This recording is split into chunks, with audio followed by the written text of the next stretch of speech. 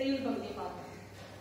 இப்போ மாணவர்களுக்கு பன்னிரெண்டாம் வகுப்புக்கான பாடப்பகுதியில சில குழப்பங்கள் இருக்கிறதா பெற்றோர் நினைக்கிறாங்க.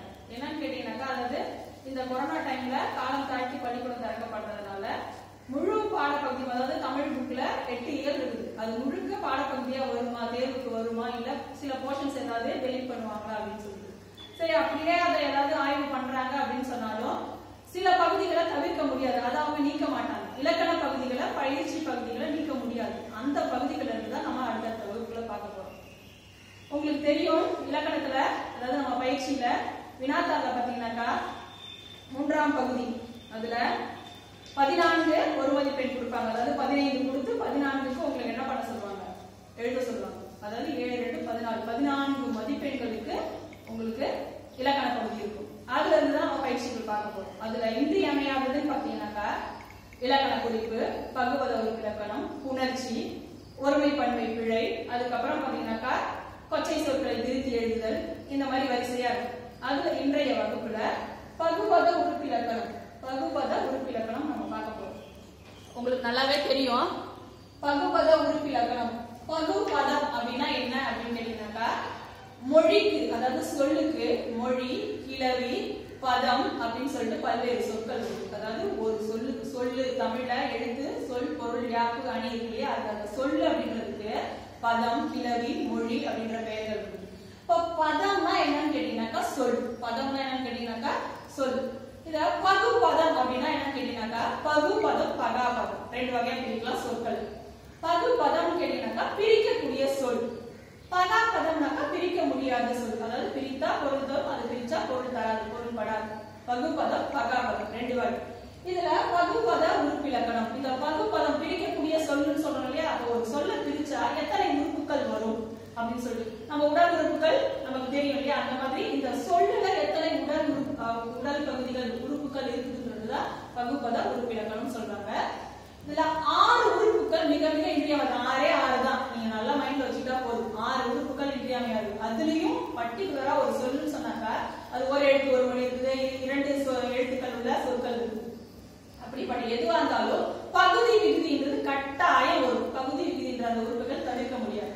அந்த அடிப்படையில் இருக்கக்கூடிய அந்த ஆறு உறுப்புகள் என்னென்ன அது என்ன பொருளை தரும் எப்படி பிரிக்கணும் அதுக்கான வாய்ப்பாடுகள் என்ன அதுக்கான சான்றுகள் என்ன பாருங்க முதல்ல பகுதி. நான் அந்த பகுதி உறுப்பிலக்கணம் என்னென்னு சொல்லிடுறேன். அந்த உறுப்புகள் என்னென்னு சொல்லிடுறேன்.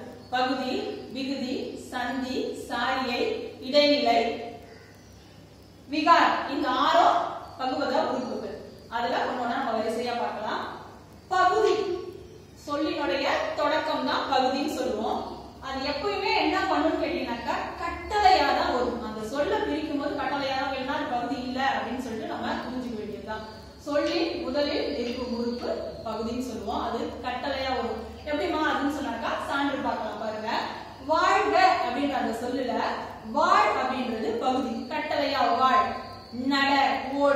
París.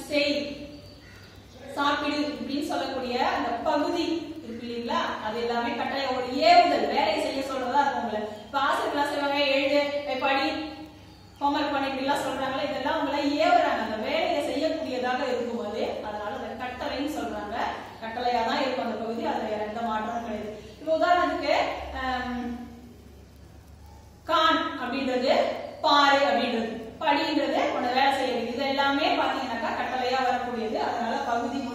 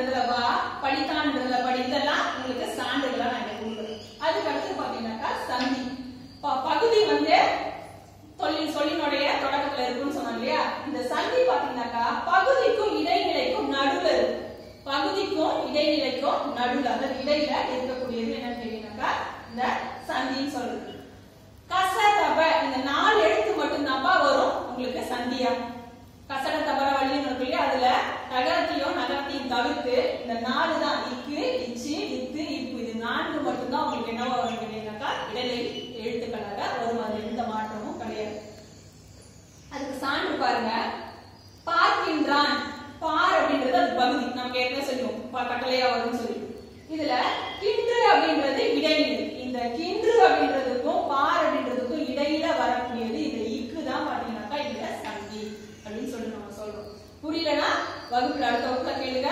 முதல்ல என்ன அப்படின்றத தெரிஞ்சுக்கோங்க. அதுக்கப்புறம் ஐயப்பாடுகள் நம்ம பார்க்கலாம். அதுக்கடுத்து பாருங்க. விகாரம் மூன்றாவது நம்ம பார்க்க போறது. விகாரம். பகுதி திரிந்தோ அல்லது சந்தி திரிந்தோ வரும்னு சொல்றாங்க. திரிதல் தான் என்ன? நம்ம புணர்ச்சியில பார்ப்போம். தோன்றல் திரிதல் கெடுதல் அப்படின்னு சொல்லிட்டு. ஒரு எழுத்து இன்னொரு எழுத்தா மாறதுக்கு பேர் தான் திரிதல் சொல்லுவாங்க. இப்ப பால் பாத்தீங்கன்னாக்கா என்ன நிலையில இருக்கோ நம்ம குடிக்கிற மாதிரி இருக்கோ அது எதுவா இருக்கும்? அதுல ஒரு ஒரு சொட்டு புளியோ எலுமிச்சம் வேற ஏதாவது தகாத பொருளோ அது அதுல சேராத பொருளோ சேர்ந்துன்னு சொன்னா அது நிலை மாறிடும் கட்டி கட்டி ஆயிடும் முடிஞ்சிச்சு நம்ம சொல்லுவோம் இல்லையா? திரிதல் அதுல அந்த நிலையில இருந்து மாறக்கூடியதுதான் திரிதல் சொல்லுவோம் அந்த அடிப்படையில பகுதிக்கும் பகுதி திரிந்தோ அல்லது சந்தி திரிந்தோ வருவதுதான் என்னன்னு சொல்றாங்க விகாரம் சொல்றாங்க. சான்று பாருங்க. கண்ட கண்ட காணுதல் அப்படின்ற பொருளை நம்ம பாக்குறோம் அந்த சொல் சொல்ல பாக்குறோம் இங்க நம்ம பகுதி என்னவா வரும்னு சொல்லியிருக்கிறோம்? கான் அப்படின்னு சொல்லியிருக்கிறோம் கட்டளையா சொல்றோம் அப்ப கண்ட கண்டு தானே இங்க வரணும் இங்க நம்ம என்னவா மாத்திருக்கிறோம் கான் அப்படின்னு மாத்திருக்கிறோம் பகுதி என்னவா திரிந்திருக்கு கண் வந்து காணா திரிந்திருக்கு அதனால இது என்னன்னு சொல்றாங்க பகுதி திரிந்த சந்தி அப்படின்னு சொல்லிட்டு சொல்றோம் விகாரம் சொல்றோம் சரிங்களா அதுக்கடுத்து பாருங்க நான்காவது இடைநிலை பகுதி விகுதி இடைநிலை சந்தி சாரி நான்காவது நிலை நம்ம பார்க்கக்கூடியது பாத்தீங்கன்னாக்கா இடைநிலை. பகுதிக்கும் விகுதிக்கும் இடையில் நிற்கும். என்ன பண்ணணும் கேட்டீங்கன்னாக்கா பகுதி விகுதி இதுல இடையில நிற்கும். இதுல வந்து ஒரு ஸ்பெஷாலிட்டி இருக்குது என்னன்னு கேட்டீங்கன்னாக்கா காலம் காட்டும் என்ன பண்ணும் காலம் காட்டும் இறந்த காலம் நிகழ்காலம் எதிர்காலம் சொல்லக்கூடிய மூன்று காலங்களை காட்டும் அப்படி அந்த காலம் காட்டுவதற்கான இடைநிலைகள் இதுதான் அப்படின்றது நமக்கு இலக்கணத்துல சொல்லியிருக்கிறாங்க பாருங்க பகுதிக்கும் இடை அஹ் விகுதிக்கும் இடையில் நின்று காலம் காட்டும் நிகழ்காலத்துல வரக்கூடிய இடைநிலை என்னவா தான் இருக்கும் இரு பார்க்கின்றான் பார்க்கின்றான்றது நிகழ்காலம் பார்த்துட்டே இருக்கிறான் அதான் இரு அப்படின்றது எதிர்காலத்துல பாருங்க இப்பு இங்கு. இப்படி வர இந்த ரெண்டு எழுத்துக்கள் வரக்கூடிய சொல்லுதான் என்னவா இருக்கும் கேட்டீங்கன்னாக்கா இடைநிலையா உங்களுக்கு இருக்கும். இறந்த காலம். இத்து இட்டு இரு இல். இதெல்லாம் வரக்கூடிய இந்த எழுத்துக்கள் அமைக்கக்கூடிய சொற்கள் என்னவா இருக்கும் கேட்டீங்கன்னாக்கா இடைநிலையா இருக்கும். அதுக்கடுத்து நம்ம பார்க்க போகிறது ஒரு சான்று பாருங்க பார்க்கின்ற என்பதில் பார் என்ற பகுதிக்கும் ஆர் என்ற விகுதிக்கும் பிரிச்சா கடைசி என்ன இருக்குது ஆர் இது கூட என்ற விகுதிக்கும் இடையில் நிகழ்கால இடைநிலை வந்துள்ளது. லாஸ்டா வந்து பாருங்க பார்ன்றது பகுதி. ஆன்றது விகுதி. இதுக்கு இடையில இருக்கக்கூடிய என்னது? கின்று அப்படின்றது தான் நிகழ்கால இடைநிலை என்ன இங்க நம்ம பார்த்துக்கிறோம் நிகழ்கால நிலை கிரு கின்று அப்படின்னு சொல்றது நம்ம. அந்த அடிப்படையில இந்த கின்றுன்றது நிகழ்கால இடைநிலையா வந்தது. அடுத்தது பாத்தீங்கன்னா சாரியை இது என்ன சொல்லி வருமா அப்படின்றது நம்மளால கரெக்டா சொல்ல முடியாது. நமக்கு அடிப்படையில வரக்கூடியது பகுதி விகுதி சந்தி வரும் இதெல்லாம் விகாரமும் சாரியையும் ஒரு சில சொற்கள்ல மட்டும்தான் வரும் இடையில் நிற்கும் விகுதிக்கு இனிய ஓசைக்காக இடம் பெறுது அதனால நான் சொன்னா எல்லா சொல்லையும் வரான்னு சொல்லி இடையில நிற்கும் விகுதிக்கு இனிய ஓசையை விகுதிக்கு இனிய ஓசை கடைசியா முடிக்கும் போது ரைமிங் வேர்டு சொல்லுங்க அந்த மாதிரி ஓசையை கொடுக்கறதுக்காக வரக்கூடிய சொல்லுதான் எழுத்துதான் என்ன கேட்டீங்கன்னா சாரியை இங்க கு உ அன் அ அப்படின்னு சொல்லக்கூடிய எழுத்துக்கள் பெரும்பாலும் சாரியா இடம்பெறும் அடுத்ததாக இதோடைய சான்று பார்க்கலாம் தனித்தது இதில் இத்து என்ற இடைநிலைக்கும் தூ என்ற விகுதிக்கும் இடையில் உள்ள ஆ என்பது சாரியை ஆ என்பது சாரியை தனித்தது அது வந்து செயல் ஓசைக்காக கொடுத்துருக்காங்க எழுத்தினுடைய ஓசைக்காக கொடுத்துருக்காங்க கடைசியா நம்ம பார்க்க போறது பாத்தீங்கன்னா விகுதி சொல்லின் இறுதியில் நிற்கும் சொல்லின் இறுதியில் நிற்கும். இடையில என்னன்னு சொன்னோம் இடையிலைக்கு ஒரு ஸ்பெஷாலிட்டி என்னன்னு சொன்ன காலம் காட்டும் சொன்னாங்க இந்த விகுதி என்ன பண்ணு கேட்டீங்கன்னா திணை பால் எண் இடம் இதனை உணர்த்தும். திணைனா என்னமா அக்னிணையா உயர்திணையா? பால்னா என்னமா ஆண் பாலா பெண் பாலா அதுக்கப்புறம் எண் எத்தனை பேரு? ஒருமையா பன்மையா? இடம். அது அப்படின்றத உணர்த்தக்கூடியதுதான் என்னது? விகுதி. இதை நம்ம வாழ்க அப்படின்றதுல க என்றது விகுதி. ஒவ்வொன்றுத்துக்கும் விகுதிக்கு பார்த்தீங்கன்னா அஹ், என்னவா முடியும் அப்படின்றத நம்ம அதாவது இது க அப்படின்னு சொல்லும்போது வியங்கோல் வினைமுற்று விகுதி என்னது? வியங்கோல் வினைமுற்று விகுதி ஒரு முறை மறுபடியும் நான் சொல்றேன் கவனிங்க. பகுபத உறுப்புகள் ஆறு. அந்த ஆறுல பகுதி விகுதி இடைநிலை மிக முக்கியமானது.